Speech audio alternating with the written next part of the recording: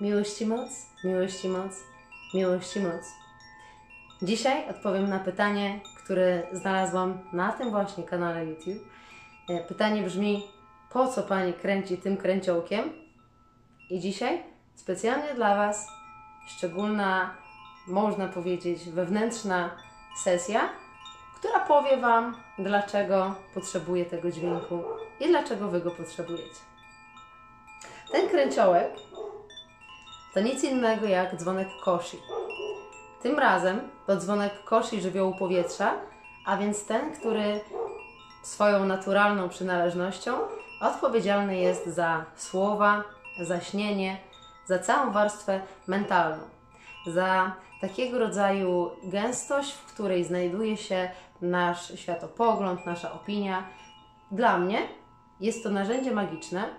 W ten sposób ten przedmiot, zakupiony uczciwie w moim własnym sklepie, do Akademii Ducha oczywiście, ten przedmiot uczyniłam narzędziem magicznym, dając mu e, moc chociażby z momentów, które, uwaga, były związane w jego przypadku z silnym wiatrem. Czyli dzwonek ten ma w sobie zapisany, zgromadzony, współgrający ze sobą wiatr szkocki, wiatr irlandzki, wiatr z Detroit i wiatr z Warszawy. Wiatr w każdym miejscu. Wiatr to nie tylko słowa, to również zapach, to również myśl, to również sen. Więc w rytuałach, które są związane z takimi zakresami rzeczywistości, oczywiście usłyszycie ten dźwięk. I dźwięk ten używany jest nie tylko dlatego, żeby bezpośrednio zaadresować przekaz, nie tylko, żeby bezpośrednio magia wiedziała, gdzie ma trafić, bo magia wie, ale dźwięk ten jest istotny również dla mnie, jako dla prowadzącej, jako dla mistrzyni ceremonii, jako dla osoby, która jest dla Was po to, by sięgnąć sobą tak wysoko, jak prawda istnieje i sprowadzić ją tak czystą, jak potrafię.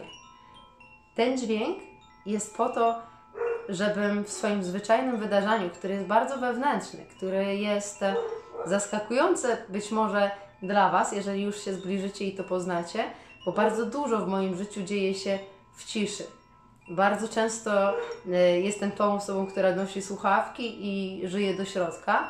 E, I jest to naturalne, jest, ta, taka jest moja natura, więc jeżeli mam Wam coś do powiedzenia, jeżeli e, mam swój naturalny nastrój, który jest przynajmniej na tym etapie życia związany z takim dosyć wewnętrznym wydarzeniem, wyprowadzić w stronę nastroju, w którym chcę się podzielić swoim przekazem, w którym ten dźwięk będzie na zewnątrz, w którym po prostu z osoby, która siedziałaby i pisałaby książkę, e, przemieniam siebie, przeistaczam siebie w osobę, która usiądzie, e, zrobi makijaż która włączy sprzęt, który to sprzęt ma działać, e, więc następnie nagra dla Was coś takiego, to przy tej transformacji dźwięk jest dla mnie po prostu bardzo pomocny, bo pozwala mi wyjść z przekazem, który jest bardzo taki powiedzmy mieszkający we wnętrzu, na zewnątrz. Ten dźwięk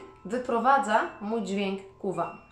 I bardzo często jest tak, że dopiero po jakimś czasie, na przykład w trakcie rytuału, grania na dzwonku albo łączenia się w melodii z innym instrumentem muzycznym, to nie są jedyne instrumenty, na których gram, oczywiście, więc e, bardzo często jest tak, że w takim momencie ta informacja, ta wiadomość się pojawia, że dochodzi do jakiejś wizji albo jakiegoś przejawienia, które natychmiast mam ochotę e, Wam w jakiś sposób przekazać. Więc dlatego też często nagrywam te kamerki um, dopiero w momencie, kiedy faktycznie czuję, że mam ten wpływ zewnętrzny.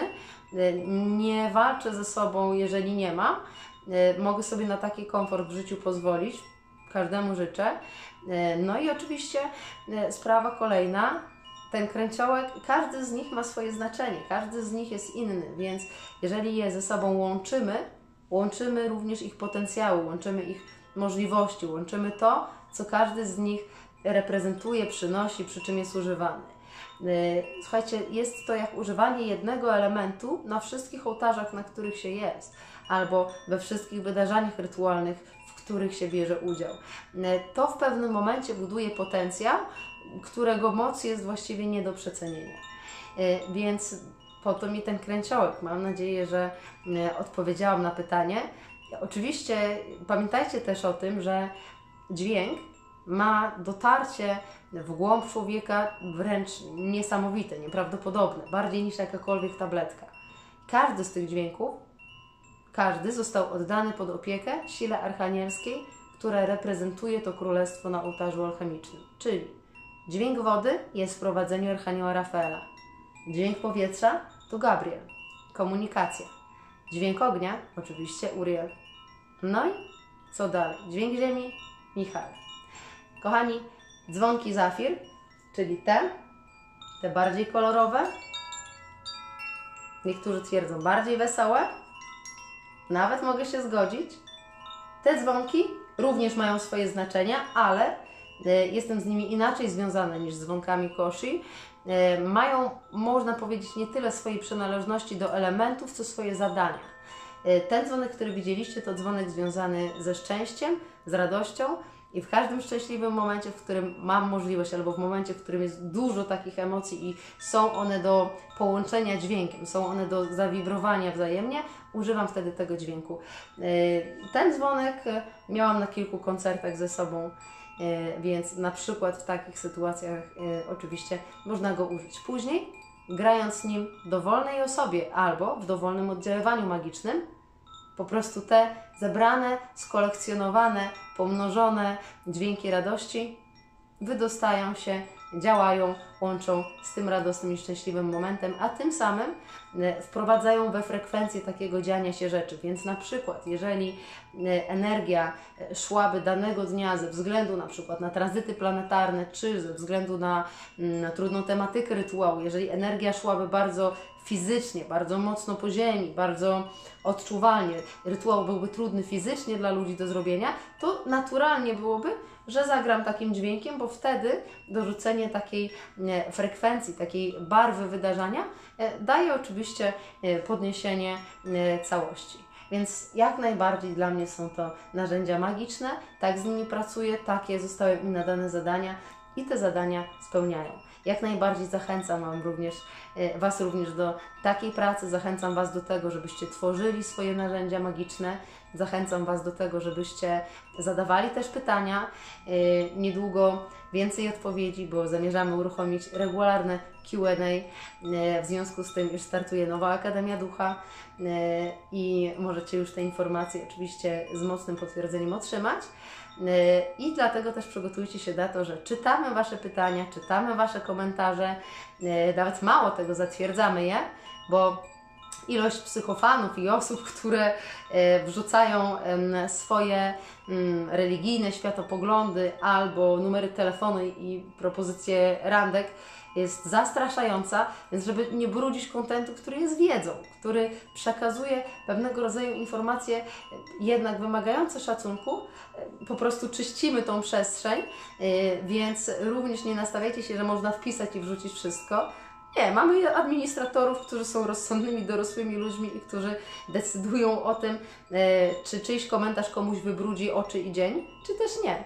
E, więc, e, kochani, to nie jest dzika łąka, na którą można wypuścić wszystkie pieski. To jest miejsce, w którym razem wszyscy zgodziliśmy się iść w górę życia, uczyć się od siebie wzajemnie i przewodzić pewnego rodzaju prawdę, z którą mamy połączenie e, za pośrednictwem umiejętności, które mamy. Więc kochani, dbajmy o to e, i oczywiście rozwijajmy się wzajemnie, zadawajmy pytania, jeżeli tylko macie jakiekolwiek, jestem tutaj, żeby odpowiedzieć. Miłość i moc, miłość i moc, miłość i moc.